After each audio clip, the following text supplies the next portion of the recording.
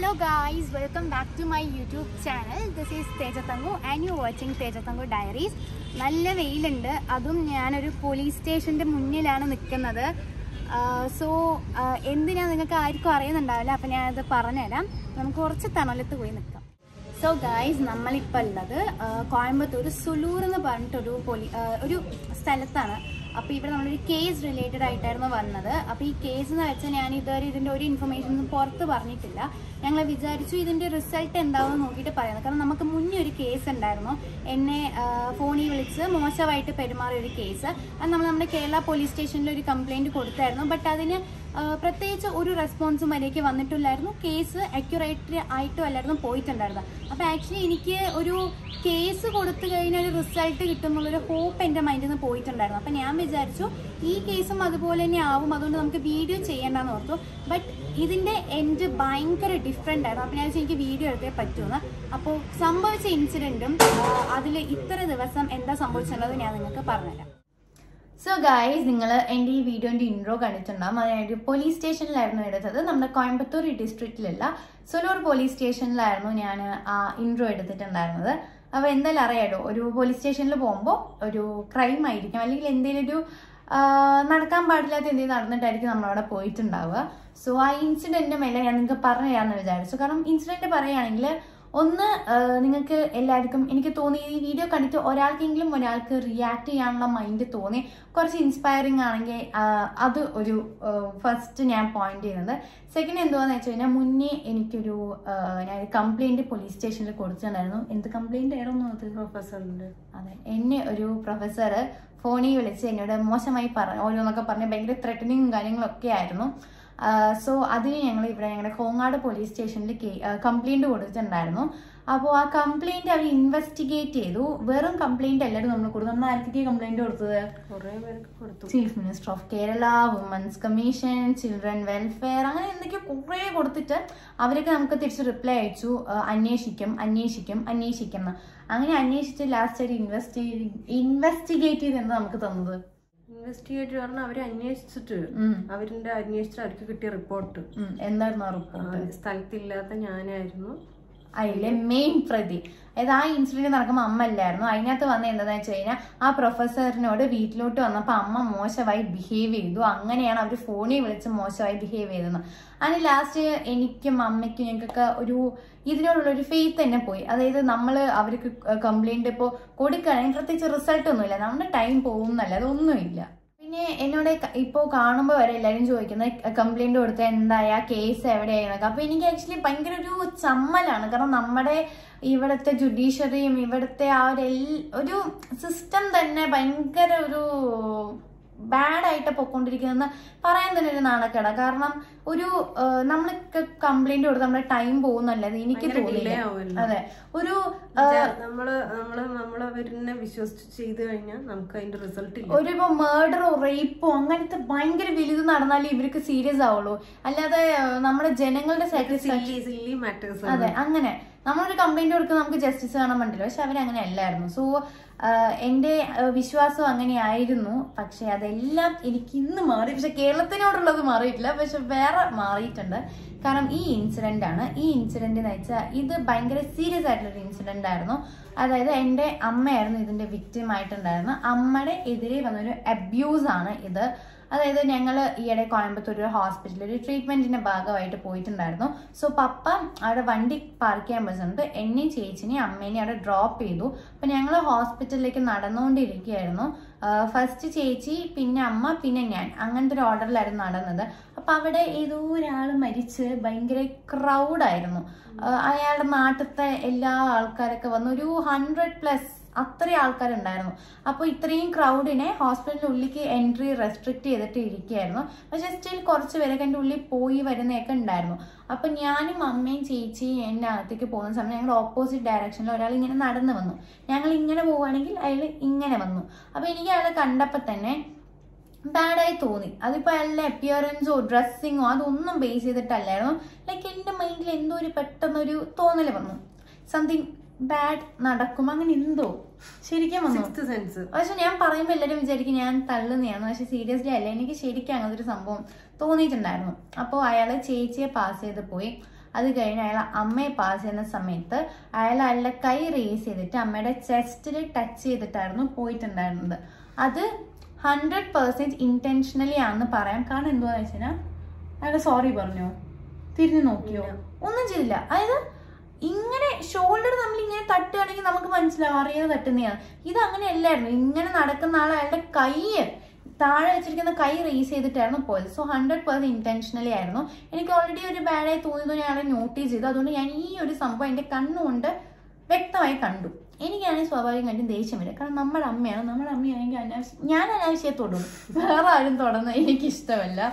So എന്ത് സംഭവിച്ചെന്ന് വെച്ചാൽ ഞാൻ അമ്മയടുത്ത് എന്ത് സംഭവിച്ചു എന്ന് ചോദിച്ചു. അമ്മയാണെങ്കിൽ ടോട്ടലി സ്റ്റക്ക് ആയിട്ട് അവിടെ നിൽക്കുകയായിരുന്നു. അതിപ്പം നമുക്ക് ഓരോരുത്തർക്കും ഇങ്ങനെ സിറ്റുവേഷൻ വരുമ്പോൾ നമ്മൾ ഏത് രീതിക്കാണ് ഫസ്റ്റ് എക്സ്പീരിയൻസ് ആയിരുന്നു. അതെ. ഒരിക്കലും എനിക്കത് ഞാനത് ഉൾക്കൊണ്ടിട്ടില്ല. ശരിക്കും ഞാൻ ശരിക്കും സ്റ്റില്ലായി നിൽക്കണം അതെ. എനിക്ക് നല്ല ഓർമ്മയുണ്ട്. എനിക്ക് ഞാൻ അമ്മയോട് ചോദിക്കുന്ന സമയത്ത് അമ്മ എന്ന് വെച്ചാൽ പ്രത്യേകിച്ച് ഒരു ഇതൊന്നും ഇല്ല ഇങ്ങനെ വികാരമൊന്നും ഇല്ലാതെ നിൽക്കണം അതെ അപ്പൊ എനിക്ക് ആ ഒരു ടൈമിൽ എനിക്ക് ഭയങ്കര ദേഷ്യം വന്നിട്ടുണ്ടായിരുന്നു. അപ്പൊ ഞാൻ അപ്പൊ തന്നെ നമ്മുടെ കയ്യും കണ്ടൂല്ലേ? ഞാൻ ഞാൻ പറഞ്ഞു ഞാൻ നോട്ടീസ് ചെയ്ത് നിക്കായിരുന്നു. എനിക്ക് അറിയ എന്തോ നടക്കാൻ പോകുന്നുണ്ട് എന്ന് പറഞ്ഞല്ലായിരുന്നു ഞാൻ തള്ളുകയാണ് പക്ഷെ അല്ലായിരുന്നു. ഞാൻ ഒരു സെക്കൻഡ് ഇങ്ങനെ കണ്ടുള്ളൂ. അയാൾ ഫ്രണ്ടിൽ ഇങ്ങനെ പാസ് ചെയ്യുന്നതേ കണ്ടുള്ളൂ. അപ്പൊ ഞാൻ ശ്രദ്ധിച്ചില്ല. പെട്ടെന്നായപ്പോ ഞാൻ എന്താ സംഭവിച്ചെന്ന് അറിയണ്ട ഇങ്ങനെ ഷോക്കായിട്ട് ഇങ്ങനെ ആലോചിച്ച് നിൽക്കണം അപ്പോഴാണ് നീ ചോദിച്ചത്. എന്താണ് എന്താണ് ചോദിക്കുമ്പോൾ ഞാൻ ആലോചിക്കണം റിയലൈസ് ചെയ്തിട്ടില്ല. ഞാൻ ഇങ്ങനെ ആലോചിച്ചുകൊണ്ട് നിൽക്കണം ഞാൻ അപ്പൊ തന്നെ പറയ എന്താ പറയ എന്താ പറയുന്നിട്ട് ഭയങ്കര ദേഷ്യത്തിൽ എന്റെ അടുത്ത് ചോദിച്ചത്. അപ്പൊ ഞാൻ എന്തോ എന്തോ എന്നൊക്കെ പറഞ്ഞിട്ട് ഇങ്ങനെ പറഞ്ഞപ്പോഴേക്കും നീ അങ്ങനെ ഒറ്റ പോക്ക് പോയി. ഞാൻ നിന്നെ വിളിക്കണ്ടായിരുന്നു. ബാക്കിൽ നിന്ന് വിളിച്ചോണ്ടിരിക്കുന്നുണ്ട് എന്താന്ന് എനിക്ക് ശരിക്കും കിട്ടുന്നില്ല. പക്ഷെ നിനക്ക് മനസ്സിലായിട്ടുള്ളതുകൊണ്ട് നീ വിളിച്ചോണ്ടിരിക്കണ്ടായിരുന്നു. പക്ഷെ നീ ഒറ്റ പോക്ക് പോയി. ഞാൻ വേഗം അയാളുടെ പിന്നാലെ പോയിട്ട് ഞാൻ അയാളോട് ചോദിച്ചു എന്താണ് ചെയ്തതെന്ന്? നോക്കുമ്പോൾ അയാളെന്ന് വെച്ചാൽ ഒരു അയാൾക്ക് മനസ്സിലായി. നമ്മൾ കണ്ടു ഇത് തെറ്റ് അയാളുടെ ഭാഗത്ത് മനസ്സിലായി. പക്ഷെ അയാൾ എങ്ങനെയെങ്കിലും എസ്കേപ്പ് ആണെന്നുള്ളൊരു ഇന്റൻഷനിൽ ഞങ്ങളെ മൊത്തത്തിൽ ഇഗ്നോർ ചെയ്തിട്ട് അയാൾ മുന്നോട്ട് പോയി.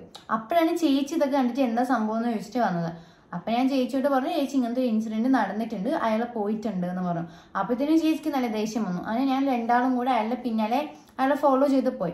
പക്ഷേ ഇപ്പൊ ഞാനും അവളും മാത്രമല്ലേ എന്ന് പറഞ്ഞിട്ട് അവൾ പറഞ്ഞു അവൾ സെക്യൂരിറ്റീസിനെ വിളിച്ചിട്ട് വരാന്ന്. അങ്ങനെ ചേച്ചി സെക്യൂരിറ്റീസിനെ വിളിക്കാൻ വേണ്ടി പോയി. ഞാൻ ഇയാളുടെ പിന്നാലെ തന്നെ പോയി. നോക്കുമ്പോൾ ഇയാൾ ആരെയൊക്കെ കോളൊക്കെ ചെയ്യുന്നുണ്ട്. അപ്പൊ ഞാനാണെങ്കിൽ ഇയാളുടെ പിന്നാലെ ഇങ്ങനെ നടക്കുക. അപ്പോഴാണ് ഞാൻ ഓർത്തു അയ്യോ പപ്പയോട് പറഞ്ഞിട്ടില്ലല്ലോ. എന്ന് അങ്ങനെ ഞാൻ വേഗം പപ്പയെ കോൾ ചെയ്തു. എന്നൊരു പപ്പയോട് പറഞ്ഞു പപ്പ ഇങ്ങനെ ഒരു ഇൻസിഡന്റ് സംഭവിച്ചു എന്ന്.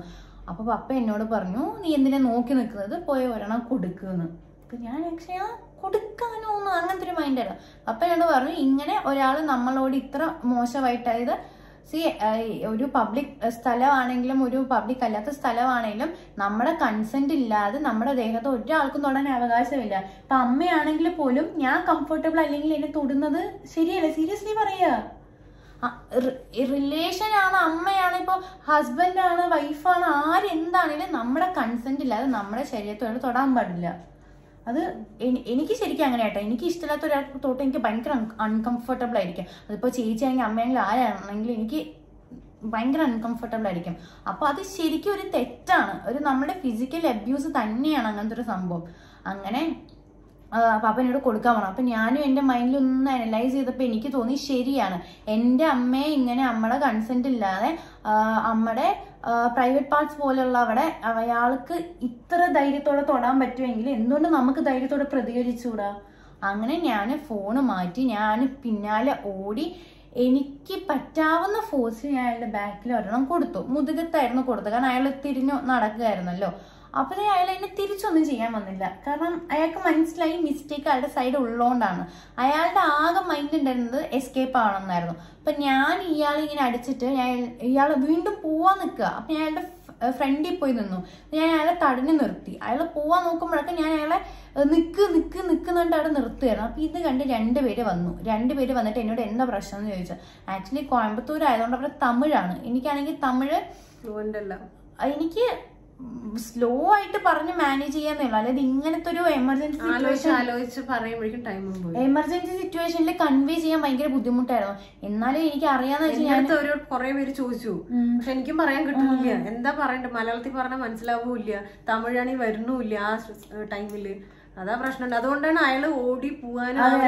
കാരണം ഞാൻ ഇവരോട് ഇത് കൺവേ ചെയ്തു. അപ്പൊ ഇവർക്ക് ഓൾമോസ്റ്റ് ഇവർക്ക് ക്ലിയർ ആയി മനസ്സിലായില്ല. പക്ഷെ എന്തോ നടക്കാൻ പാടില്ലാത്തത് നടന്നു എന്നായിരിക്കും മനസ്സിലായി. അങ്ങനെ ഇയാൾ വീണ്ടും ഓടാൻ നോക്കുക അപ്പൊ ബാക്കി രണ്ടുപേര് പിടിച്ചു നിർത്തി. പക്ഷെ ഇയാൾ ഞങ്ങളെയൊക്കെ തട്ടി മാറ്റി. ഇയാൾ ഓടി. ഇയാൾ ഓടിയ സമയത്ത് അവിടെ ഒരു സെക്യൂരിറ്റി ഉണ്ടായിരുന്നു. സെക്യൂരിറ്റിയോട് പിടിക്കുന്നു പറഞ്ഞു. പക്ഷെ സെക്യൂരിറ്റിക്ക് എന്ത് മനസ്സിലായില്ല. പക്ഷെ അത് ആക്ച്വലി റോങ് ആണ്. ഒരാൾ ഇങ്ങനെ പറയുമ്പോൾ സെക്യൂരിറ്റി എന്ന നിലയിൽ അവർ ആക്ഷൻ എടുക്കേണ്ടതാണ്. അയാൾ- അയാൾക്ക് എന്താണെന്ന് കാര്യം ഇവിടുത്തെ എന്റെ ഒപ്പം നിന്ന് രണ്ടാൾക്കാരില്ല. അയാൾ പറഞ്ഞു തമ്മിലെ സെക്യൂരിറ്റിയുടെ അയാളെ പിടിക്കുന്നു. സെക്യൂരിറ്റി ഞങ്ങളൊന്ന് തമാശ കളിക്കാൻ വേണ്ടി ഞങ്ങളങ്ങനെ നോക്കി നിൽക്കുകയായിരുന്നു അങ്ങനെ ഞാൻ ഇയാളുടെ ബാക്കിൽ ഓടിപ്പോയി. അങ്ങനെ എന്നോട് സെക്യൂരിറ്റി എന്തുവാന്ന് ചോദിച്ചപ്പോൾ ഞാൻ സെക്യൂരിറ്റിയോട് ഇങ്ങനെ പറഞ്ഞു. അപ്പൊ തന്നെ സെക്യൂരിറ്റി എന്നോട് ചോദിച്ചു മലയാളിയാണോ എന്ന് എന്റെ തമിഴ് കേട്ടിട്ട്. അപ്പൊ ഞാൻ ആന്ന് പറഞ്ഞിട്ട് കാര്യം പറഞ്ഞു. അപ്പൊ സെക്യൂരിറ്റി ഞെട്ടി കാരണം ഇങ്ങനത്തെ ഒരു ഇൻസിഡന്റ് ഒരു ഇങ്ങനെ പബ്ലിക് ആയിട്ടുള്ള സ്ഥലത്ത് നടക്കുക എന്ന് പറയുമ്പോൾ അത് എല്ലാവർക്കും ഒരു പാടായിരിക്കും ഉൾക്കൊള്ളാൻ. അങ്ങനെ ഞാനും എന്റെ ബാക്കിലൊരു വേറെ രണ്ടാൾക്കാരും ഈ സെക്യൂരിറ്റിയും വേറെ സെക്യൂരിറ്റി ഞങ്ങൾ നാലഞ്ച് പേരും ഞാനും കൂടെ ഓടി. അപ്പൊ ആക്ച്വലി മെയിൻ റോഡ് എത്താനായി. മെയിൻ റോഡ് എത്തിക്കാൻ നമുക്കറിയാലോ ഈ ഒരു ഇടവഴി ഇങ്ങനെ പിന്നെ ഇവിടെ മെയിൻ റോഡ് സോ ടേണിംഗ് ആണ് ഇവിടെ ഈ രണ്ട് സൈഡും ആ ടേണിങ്ങിലൂടെ അയാൾ പോയി. ഞങ്ങൾ ഫോളോ ഓടി. ഓടി. ഓടി ഓടിപ്പോയി ഞങ്ങൾ പിന്നാലെ ഞങ്ങളൊക്കെ ബാക്കിൽ ഓടി വരണ്ടായിരുന്നു. ഞാൻ കണ്ടില്ല. ഇവരെയൊന്നും ഞാൻ ആ ടേണിങ് കഴിഞ്ഞതും അയാൾ ഔട്ട് ഓഫ് സൈറ്റ് ആയി. ഞങ്ങൾക്ക് അയാളെ കാണാൻ പറ്റിയില്ല. അതിനുശേഷം ചേച്ചി വേറെ കുറച്ച് സെക്യൂരിറ്റീസിനെ വിളിച്ചിട്ട് വന്നിട്ടുണ്ടായിരുന്നു. പിന്നെ പപ്പയും അമ്മയും ഒക്കെ വന്നു. അവിടെ അയാളെ കണ്ടേ ഇല്ല. അപ്പോൾ അവിടെ ഒരാളോട് ഞങ്ങളിങ്ങനെ ഇങ്ങനെ ചോദിച്ചു. സെക്യൂരിറ്റീസ് ഇങ്ങനെ ഒരാൾ ഓടി വരുന്ന കണ്ടു എന്ന് അപ്പം എന്താ റീസൺ എന്ന് വെച്ചപ്പോൾ പറഞ്ഞു. ഞാൻ പറഞ്ഞു എന്റെ അമ്മയെ അമ്മയോട് മോശമായി ബിഹേവ് ചെയ്തു. അങ്ങനെ. അപ്പോഴും അയാൾ പറയുന്നത് ഇതിപ്പോ സില്ലിയാണെങ്കിൽ വിട്ടാ പോരെ. അങ്ങനെ. അതായത് അവരുടെ അവർ സീരിയസ്നെസ് അറിയാതെയാണ്. അവർക്ക് മനസ്സിലായില്ലല്ലോ നമ്മൾ പറഞ്ഞു എന്തോ എനിക്ക് തട്ടിയിട്ട് വേണമെങ്കിൽ പോയതായിരിക്കും എനിക്ക് തോന്നിയത് എന്തെങ്കിലും വിമൻ ഓർ മെൻ അല്ലെങ്കിൽ ഇറസ്പെക്റ്റീവ് ഓഫ് ജെൻഡർ നമുക്ക് എന്തെങ്കിലും ഒരു അബ്യൂസ് ഫേസ് ചെയ്യണമെങ്കിൽ മിക്കവരും അത് നോർമലൈസ് ചെയ്യാനാണ് നോക്കുന്നത്. ഞാൻ പറഞ്ഞില്ല എല്ലാവർക്കും ഒരു മേർഡർ അല്ലെങ്കിൽ റേപ്പ് ആ ഒരു എക്സ്റ്റെന്റ് ആണ് സീരിയസ് ആയിട്ട് കാണുന്നുള്ളൂ. ഞാനും അങ്ങനെ വിചാരിച്ചു എല്ലാവരും അങ്ങനെയാണെന്ന്. അങ്ങനെ ഹോസ്പിറ്റൽ മാനേജ്മെന്റ് ഫുൾ ഞങ്ങൾക്ക് സപ്പോർട്ടായിരുന്നു അവർ C C T V footage check ചെയ്തിട്ട് പോലീസിൽ നമുക്ക് കംപ്ലൈന്റ് കൊടുക്കാന്ന് പറഞ്ഞു. അങ്ങനെ ഞങ്ങൾ C C T V footage check ചെയ്ത്. നോക്കുമ്പോൾ സി സി ടി വി ഫുട്ടേജിൽ വ്യക്തമായിട്ട് കാണാമായിരുന്നു. അയാൾ കൈ ഇങ്ങനെ ഉള്ള കൈനെ ഇങ്ങനെ കൊണ്ടുവന്ന് ടച്ച് ചെയ്ത് ഈ കൈ ഇങ്ങനെ കൊണ്ട് പോകുന്നത്. അത് മാത്രമല്ല അയാൾ പിന്നാലേക്ക് നോക്കിയിട്ട് എസ്കേപ്പ് ആയിട്ട് ഓടുന്നതും അയാൾ. സംസാരിക്കുന്നത് ഞാൻ ചോദിച്ചതും എല്ലാം ആ, അപ്പോ എല്ലാവർക്കും വ്യക്തമായി പോലീസ് വന്നു. അപ്പോൾ ഹോസ്പിറ്റലിൽ ഞങ്ങളുടെ കംപ്ലൈന്റ് റിസീവ് ചെയ്യാൻ വന്നത് മനോജ് എന്ന് പറയുന്ന ഒരു പോലീസ് സാറാണ് സാറ് സ്പെഷ്യൽ സബ് ഇൻസ്പെക്ടർ ആണ്. സാർ എന്ന് വെച്ചാൽ ഭയങ്കര ലോയൽ ആയിട്ടാണ് നമ്മളോട് പറയുന്നത്. അപ്രോച്ച് എന്ന് വെച്ചാൽ നമുക്ക് ആക്ച്വലി നമ്മൾ മെന്റലി ഡൗൺ ആയിരിക്കുന്ന സമയത്ത് നമ്മളെ ബൂസ്റ്റ് ചെയ്യാൻ പറ്റുന്ന പോലത്തെ അപ്രോച്ച് ആയിരുന്നു. അതാണ് ഞാൻ പറഞ്ഞത്. എല്ലാവരും ആ സമയത്ത് ഭയങ്കര ദേഷ്യവും ഭയങ്കര വേറൊരു ഇമോഷണൽ ആയിട്ട് ഇരിക്കുന്നു അതാണ് ഞാൻ പറഞ്ഞത്. കേരള പോലീസും ഇവരും തമ്മിലുള്ള ഡിഫറൻസ് എനിക്ക് തോന്നിയത്. എനിക്ക് മാത്രല്ല ഇപ്പൊ പപ്പ ഹോസ്പിറ്റലിൽ അവരും പറഞ്ഞില്ലേ ഞങ്ങളെ കൊണ്ട് ചെയ്യാൻ പറ്റുന്ന എല്ലാ സപ്പോർട്ടും ഞങ്ങൾ ചെയ്യാന്ന് പറഞ്ഞാൽ തന്നെ നമുക്ക് കുറച്ചും കൂടി അതെ അതെ. ഫുൾ ഹോസ്പിറ്റൽ മാനേജ്മെന്റ് അന്ന് ഹോൾ ഡേ നമ്മുടെ ഒപ്പം ഉണ്ടായിരുന്നു. അവർക്ക് actually working up to six o'clock വരെയാണ്. പക്ഷേ ഫുൾ ടൈം ഒരു സെവൻ തേർട്ടി ആ ചേച്ചിയുടെ പേര് സംഗീത എന്ന് പറഞ്ഞിട്ടൊരു ചേച്ചിയും പിന്നെ അവിടുത്തെ സെക്യൂരിറ്റിന്റെ ഹെഡൊക്കെ ആയിട്ടുള്ള ആയിട്ടുള്ളൊരു അങ്കിളുമാണ് അങ്കിളുടെ പേര് എനിക്ക് നേരെ ഓർമ്മയില്ല. അവരായിരുന്നു നമ്മളൊപ്പം ഫുൾ ടൈം ഉണ്ടായിരുന്നത്. പിന്നെ ഹോൾ മാനേജ്മെന്റ് നമ്മളെ സപ്പോർട്ട് ചെയ്തിട്ടായിരുന്നു. അങ്ങനെ പോലീസ് നമ്മുടെ കംപ്ലൈന്റ് എടുത്തിട്ട് പോയി. എന്നിട്ട് നമ്മളോട് അമ്മയോട് സോറി പറഞ്ഞു. എന്റെ എന്റെ സ്റ്റേഷൻ ലിമിറ്റിൽ വെച്ച് ഇങ്ങനെ ഒരു സംഭവം നടന്നതിന് ഞാൻ സോറി പറഞ്ഞു. നമ്മുടെ ഇവിടെ പോലീസുകാരോട് നമ്മൾ പറഞ്ഞ സമയത്ത് നമ്മൾ നമ്മൾ പാതിരാത്രി ഞാൻ ആ സ്റ്റേഷനിൽ പോയി കേസെടുത്തപ്പോ അവരെന്താ പറഞ്ഞത്?